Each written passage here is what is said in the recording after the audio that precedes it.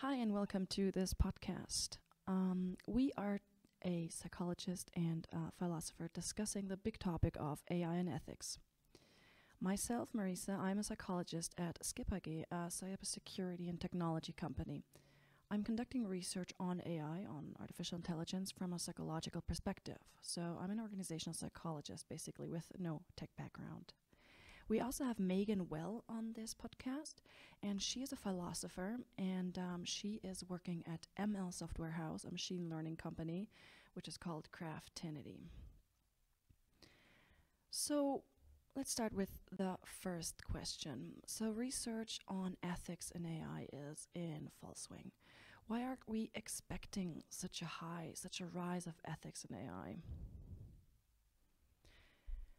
Well, if you look at the sci fi movies like Terminator, Star Wars, and such, the bad consequence of technology gone wrong has always fascinated people.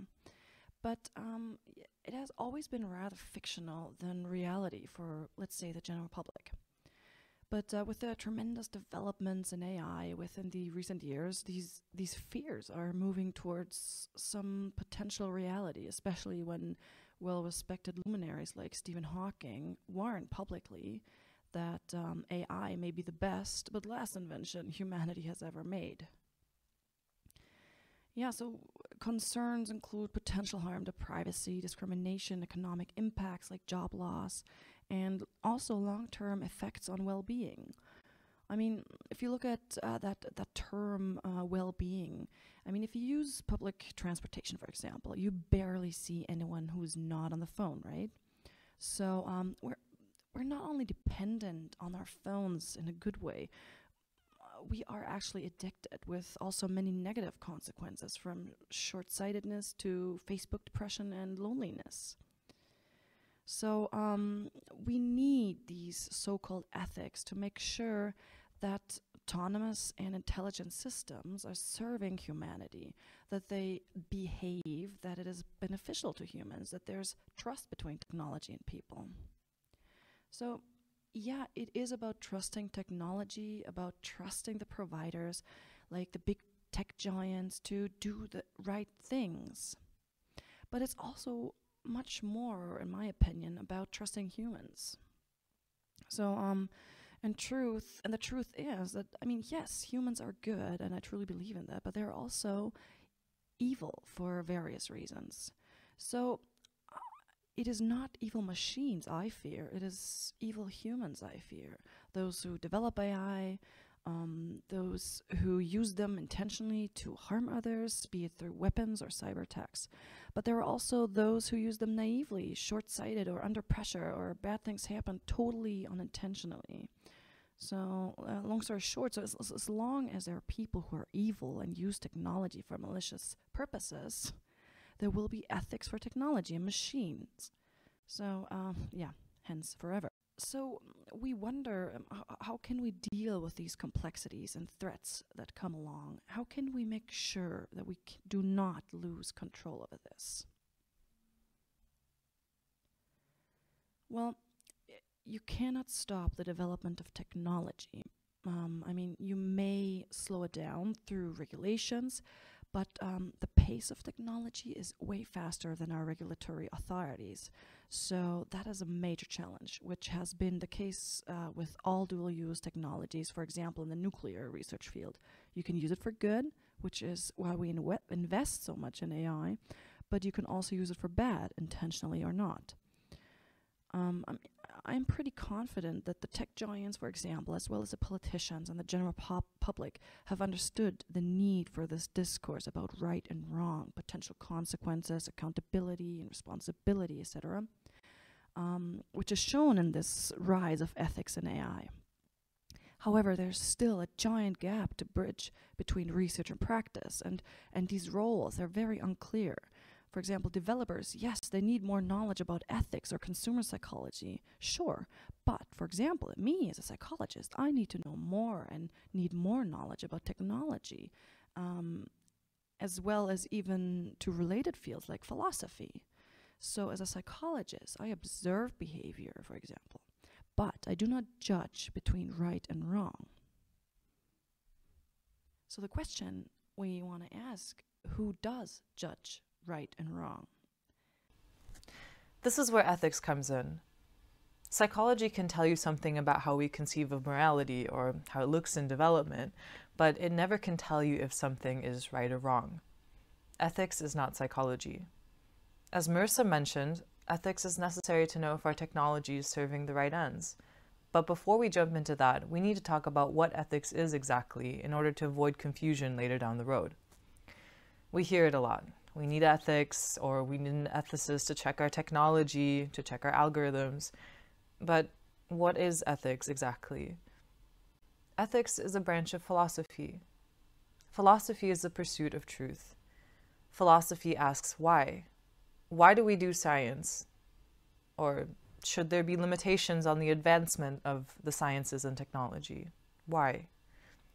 Both philosophy and science aim at truth. They're not opposed to each other.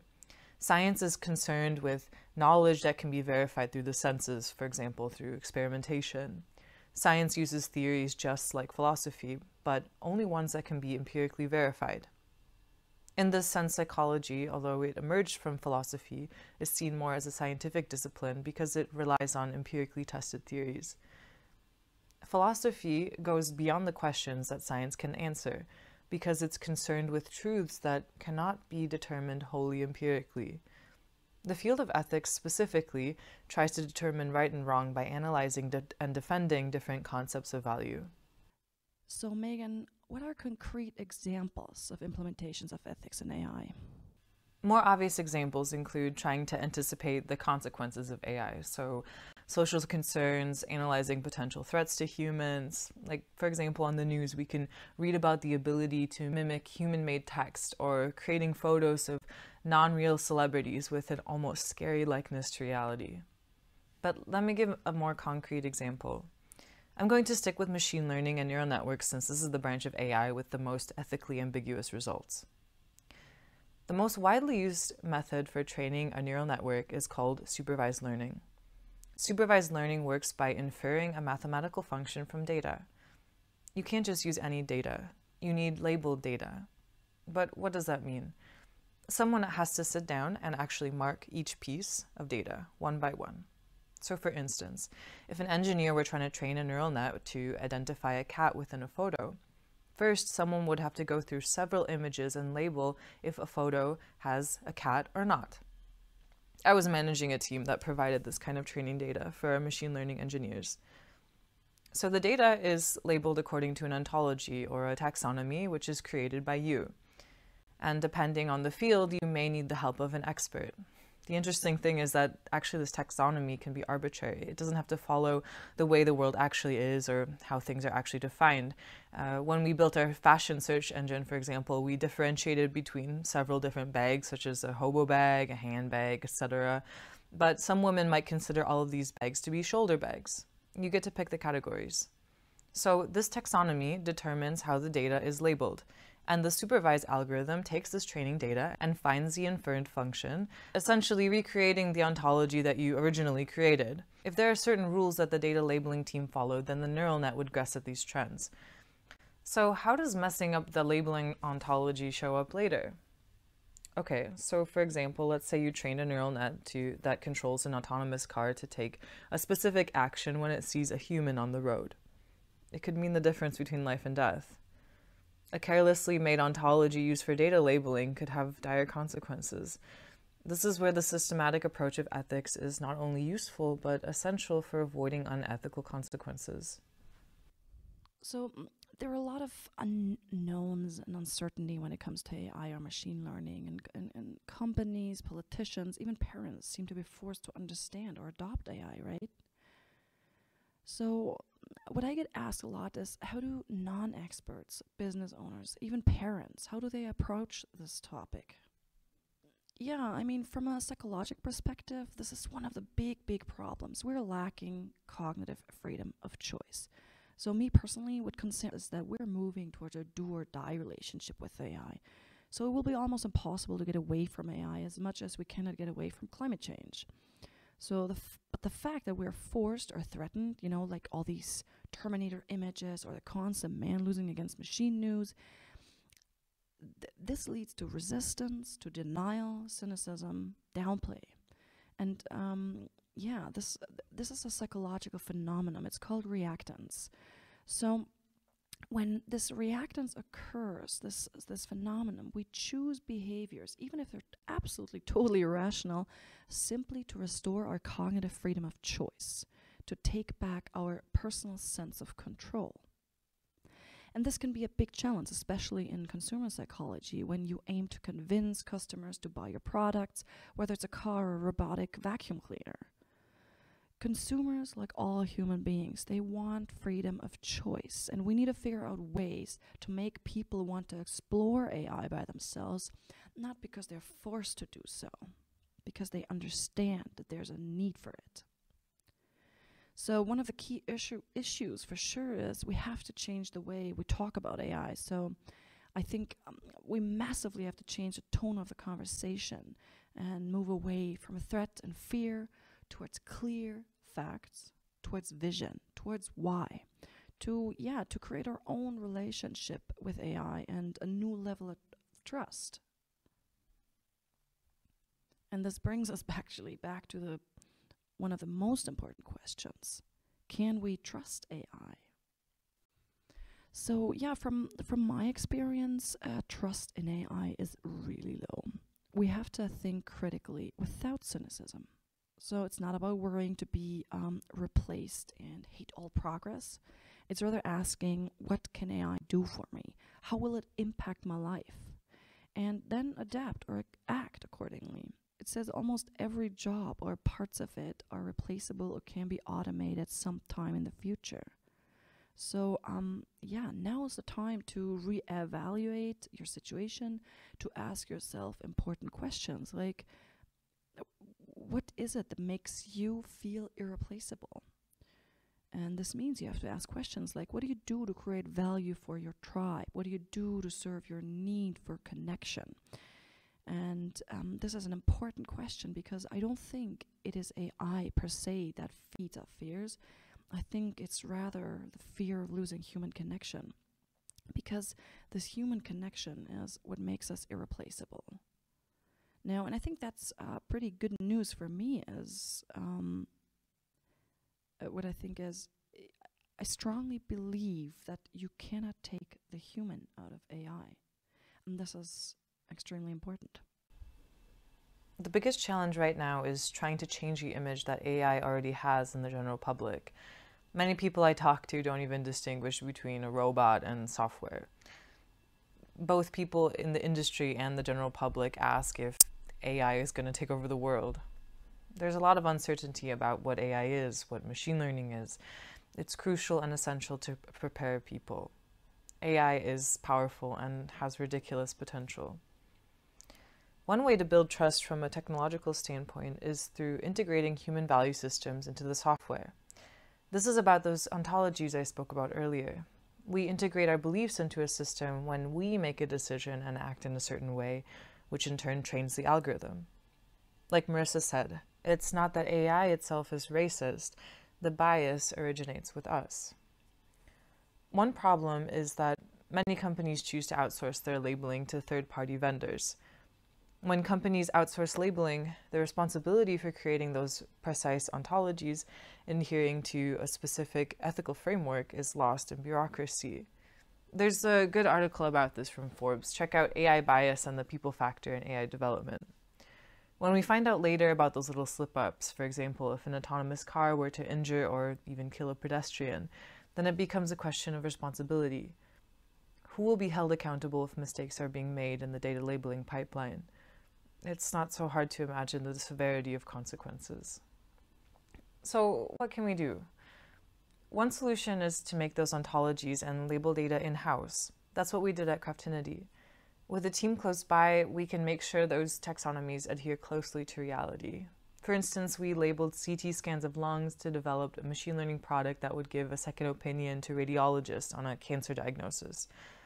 We included several doctors in the labeling process.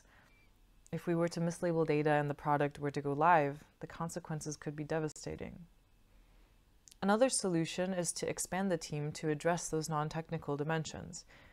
We need people who understand psychology to communicate to the public about controversial topics. If we want to have ethical AI, we need to address issues to their technical core with the assistance of people watching out for the ethical dimension. We want to build a technology that's trustworthy to the public. Yeah, so trust seems to be one of the big topics when it comes to AI. As a company, I mean, I often get asked what is important when um, creating a tr- trustworthy image or company culture. Yeah, so it's very true. Trust is one of the most critical influencing factors when it comes to interaction, no matter if human interaction or human machine interaction. I mean, without trust, there, there would be no families, no houses, no markets, no religion, no politics, basically, no rocket science. And um, according to Rachel Botsman, we humans, through trust, can cope with uncertainty. And this uncertainty is always some a place between the known and the unknown. So we need trust as a mechanism, basically, to cope with these complexities. And as a company, if, if you want to explore your trust image, you need to look at, uh, at questions and definitions from various perspectives. Um, most importantly, or would be a systemic perspective. So you may want to look at the individual person, like characteristics of your target group or your employees. You can look at the process. How do you build trust? How do you maintain trust? How do you develop trust from a consumer perspective? And also, what happens if trust is destroyed and how can you regain it? What are the effects of it? You have to be clear of all the actors and uh, the roles. Who is to be trusted? Is it the provider? Is it uh, the, the, the salesperson? Is it the brand? Is it, the, um, yeah, what is it? Is it the process or the competences or the situation? So there are many, many factors that have to be evaluated. And also, very important is the situation. Are we talking about a high risk situation, like, for example, self driving cars? Or are we talking about an AI driven chatbot in customer service? These are very two different situations, right? So, um, we have to focus as a company on why and vision. I've mentioned that before. I mean, machines can read x rays better and way faster, machines can translate faster. Where and, and what, how does the human in this loop look like? Where's the human factor in AI?